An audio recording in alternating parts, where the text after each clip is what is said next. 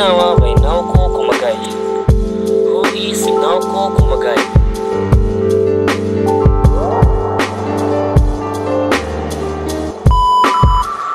Shimenawa by Naoko Kumagai. This is a story I was told. It was August 1973. My brother Jiro was four, sitting at dinner. Itadakimasu, my uncle said. Jiro picked up onigiri, a rice ball, with his hand and mashed it into his mouth.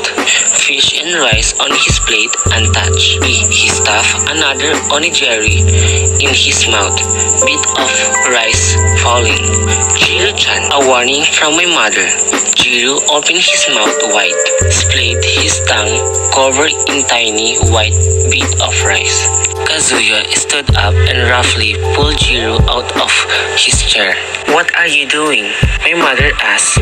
Getting up, Kazuya went out the back door, carrying Jiro firmly under his arms.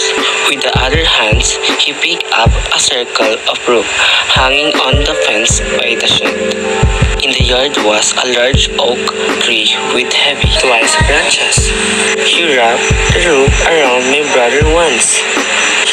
Him to the trunk to the oak, winding the rope around and around.